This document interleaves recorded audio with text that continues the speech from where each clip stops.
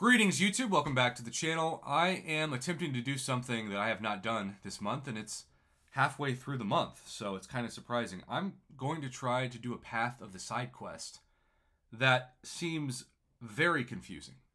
It kind of reminds me of the Gates of Rifts, but with different words. You're about to spend a resource to open this gate. If you quit the quest or run out of time prior to completing it, your progress will be reset, but any spent resources will be fully refunded. So let's just try this opening fight. It only has a few days left, which is kind of surprising. If the attacker is a hero champion, they gain superiority. Swing and a miss, faltering mind, blah, blah, blah. So, Hercules, I believe, happens to be hero, which is convenient because that's who I, of course, normally use as an attacker, anyways. And I actually got that in there. Now, I'm always wondering, like, should I let myself get knocked down to gain the third? I don't know. I'm also giving him the falter, although, ironically, my skills just faltered. So I took a good chunk of health. Because I have spent so many units and so many revives on Winter of Woe fights and attempting and failing at uh, some of the Carina's challenges, I have kept recoil masteries off. I don't love it, especially in the arena. Um, okay. I still find this side quest just to be so confusing, and part of the confusion is just how many dang side quests there are right now, and how some are about to close and others are not. Now, of course, that's partially because, ooh, look at this incinerate. All right, this is not good.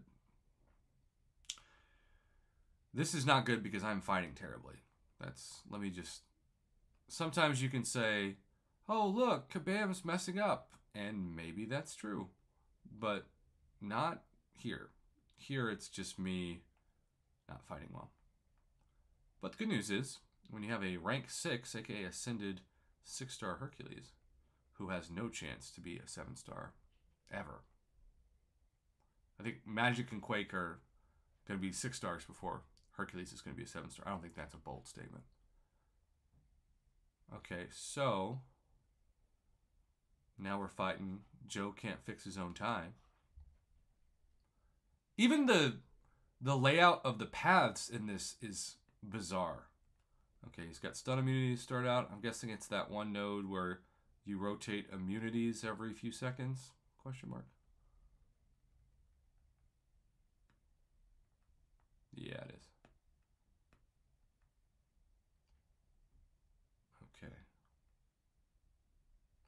This is where willpower can really help. Look at that regen. Mm-mm-mm. 284 a tick. But I got rooted. Dang, that was a lot of block damage. All right. I guess you could say I have conquered it so far. It's a very strange experience, that's for sure. All right, now we're going to Groot.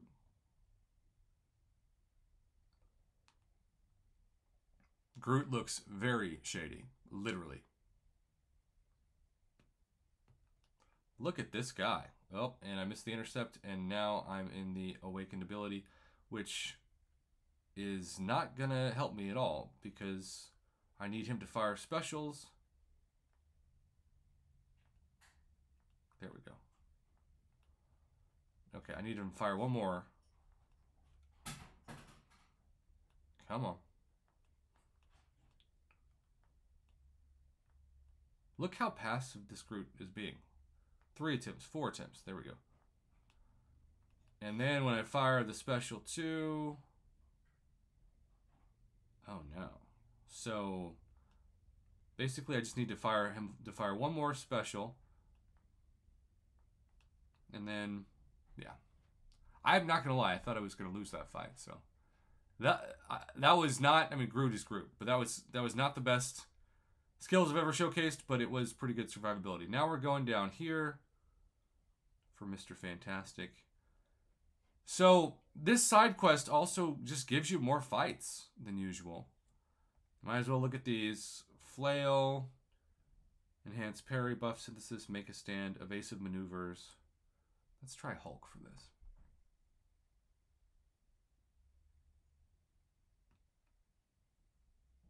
Alright, got the protection done. But of course he's going to have that evade. There he goes. Now let's see if we can do a special one and lock it in. God, I love Hulk. I'm going to try to... There we go. That was a much more aggressive AI. Love to see that. And look at how much he is being stunned. This is where Hulk just becomes like the ultimate cheat code. This is also why you will see more and more champions have stun immunity when it comes to specials to negate a huge part of the utility of both Hercules and Hulk, which, ironically, or maybe not so ironically, are two of the champions that I use the most. All right. I think we're almost done. This is a really fascinating experience. Parry vulnerability, re red lining, dazed to confused, encroaching stun. Okay. Why do we play this game and spend so much money so that we can have somebody like OG Hulk, who our beloved Mama Bear is also planning on taking to rank three? Really smart decision, Mama. Block that. All right, you see how that encroaching stun is almost encroaching on us? Oh no. And now it's gone away. That was so stupid. Now I'm going to be stunned. I'm going to back out as much as possible so that I can take away some of that damage. Okay, so that did almost no damage. That's kind of hilarious. Still at 97% with the willpower. Really helping me. All right, this is this is the easiest fight of any of the ones we've done. All right, now are we going to get to go to Null?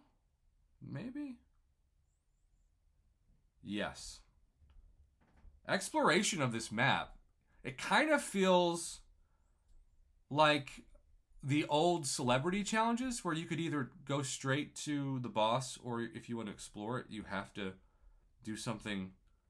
Uh, you have to do them all at once. And really, what I should have done is start this with because I don't have recoil masteries. I actually start with Nick Fury, so when he gets knocked out, I can kind of benefit from him being knocked out. But this may have to work. Remember that the relic is truly incredible, but now he's got stun immunity, but he did not fire it. Okay, so I'm waiting for him to knock me out. I can't hit him. 75% damage is really good. I mean, that's that's fantastic. Let's bring in Herc and see if we can finish off with this very little health left. The big question is, is this worth it? Because I'm using rank 5, or technically rank 6, in this case, Ascended 6 stars, and rank 2, in, in Hulk's case, rank 3, 7 stars, and it was still, you know, itemless. I wasn't really ever sweating, but one could say it was not the most relaxing experience of my MCOC career. I think that's fairly accurate. And that was all for 12,000 Mysterium. Trade Mysterium. All right, so let's just see. I'll probably need to do a separate video on the best values for your Mysterium now that I've uh, gotten some. But let's go back even the Mysterium thing is is very confusing to me. Okay, so let's just say all I do is the threat level fives, and that's it. And this is one, two, three, four, five, six, seven. So seven times twelve thousand. The minimum, assuming it's just the same in each, and who knows if it is eighty-four thousand Mysterium. How much does 84,000 Mysterium get you? All right, 5,000, 10,000, 15,000, 15,000 plus 16,000, 31,000. and then plus another 8,000 is 39,000. So, yeah, it would get you enough to get everything if you explored threat level 5. And then I kind of tend to get a little confused with the way that we get these um, these not the nullifiers, but the flower powers. How many of these do we get?